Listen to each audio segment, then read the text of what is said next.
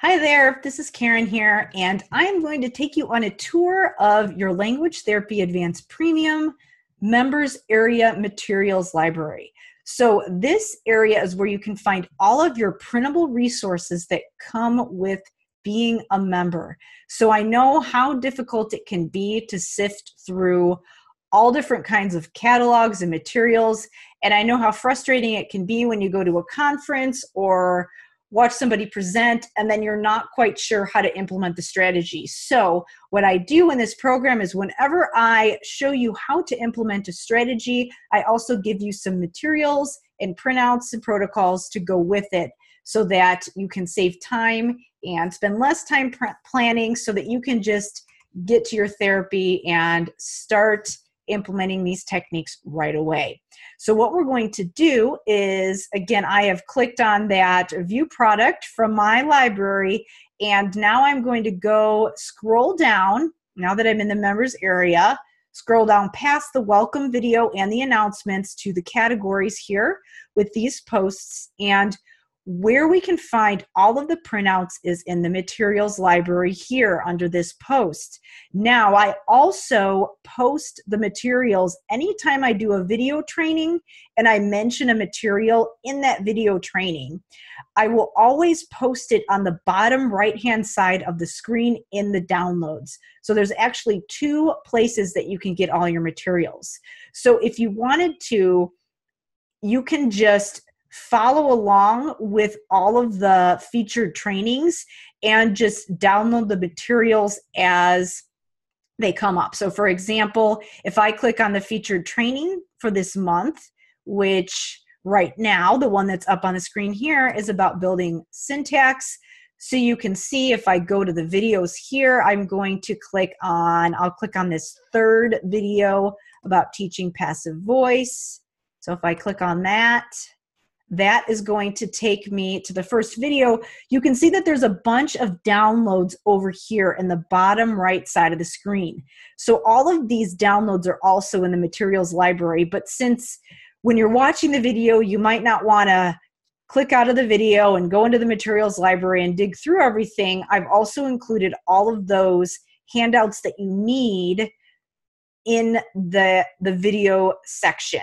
So as I mentioned them, they'll always be down there in the downloads. So you could just go ahead and wait and download everything that's relevant as you go through the trainings. But if you wanted to start using some of the materials right away, you have another option here. I'm going to scroll out to the main dashboard here. You can also download everything in the materials library because there might be times when you might have something that you want to do with your students and maybe i haven't covered it in that month, month's featured trainings. Maybe we haven't talked about it yet. So i also include all the materials in the materials library. So because i know that you are an educated slp you will probably be able to figure out how to use these materials.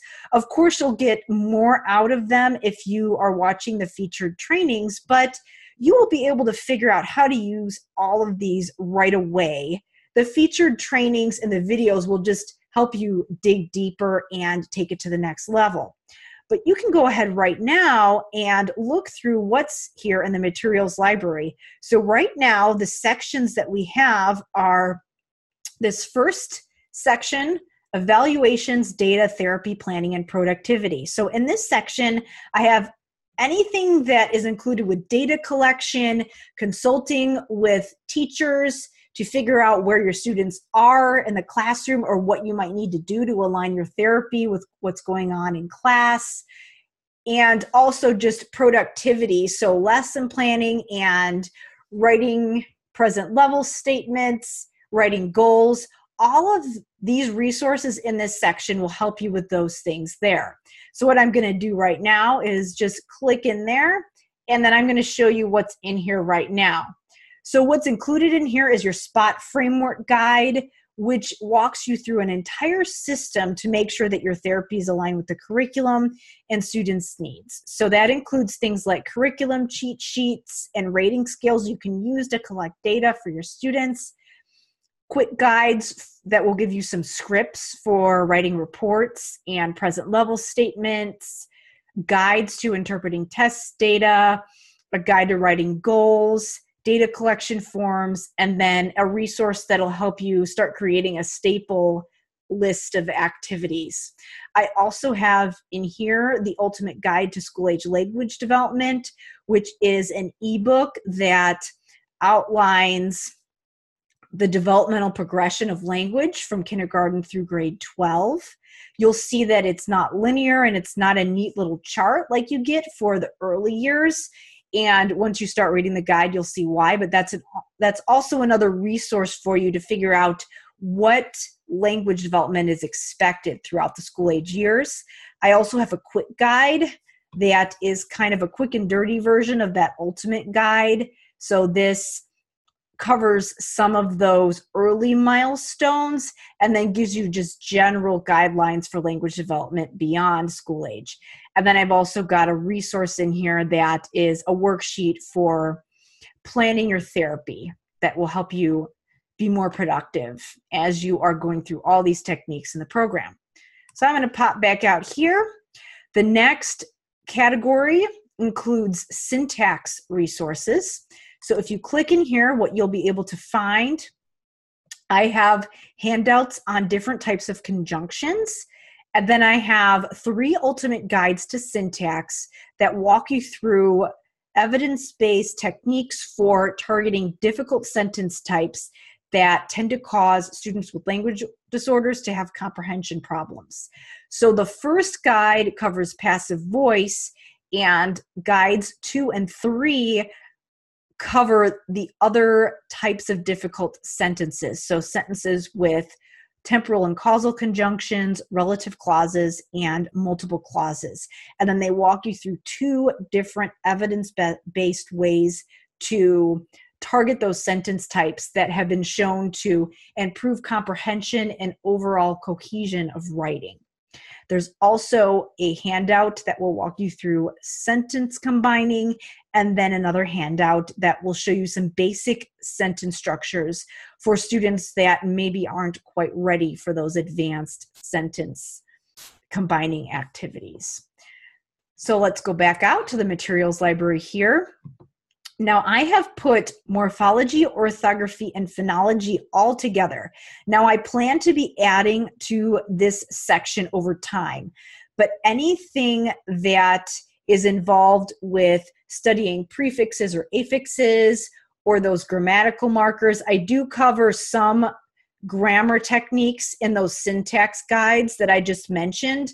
But if you want to really dig into word parts, you would want to go into this section here. Now, the reason that morphology, orthography, and phonology is lumped all together is because really with all of these different pieces of language, it's hard to talk about one without talking about another because they all impact each other. So usually when you're talking about prefixes and affixes, it's also relevant to talk about how words are spelled, which is orthography, and then also how they're pronounced, which is phonology. So that's why these are all together here. Again, I'm planning to add to this over time. Right now, I've got some basic cheat sheets and tips, but we will be diving deeper into some more in depth resources and materials here that will really walk you through how to target morphology and orthography with your students as you're studying words. So all of those types of resources can be found in that section. The next section we have is semantics. So what I have in this section here is resources that will help you to study semantic features. So this will walk you through semantic feature analysis for nouns, verbs, and adjectives that will really help you study those different features of words that will cause your students word retrieval difficulties.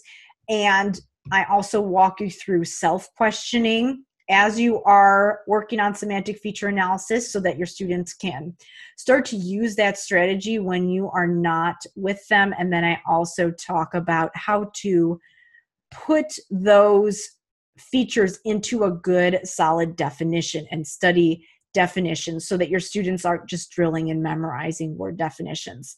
So that's when the, what's in this meta definitions handout. And then the last section here are resources for carryover. So once you've studied all those different pieces of vocabulary, you're also going to want to tie in some strategies to help your students generalize to the classroom. So, what's included in this section, and again, I will be adding to this over time to really help your students to be able to use vocabulary when they're doing things like telling stories or writing. But what we've got in here now are resources that will help your students to answer questions because that tends to be something that is really difficult for our students. So you can find handouts and flashcards in this section that will guide you through that. And I will be adding to this materials library over time as we go through the program and as I add to those featured trainings. But right now, this is a massive guide and a really a ton of resources to help you get started with some evidence-based ways to to target language. So feel free to ask questions about any of these resources or go ahead and download as many of them as you need. Again, I do recommend going through and adding one, one habit at a time as you work through your featured trainings. But if you want to just start creating a binder of all your resources, here is where you can go to find all of those printable handouts. So thanks so much for watching and let me know if you have any questions.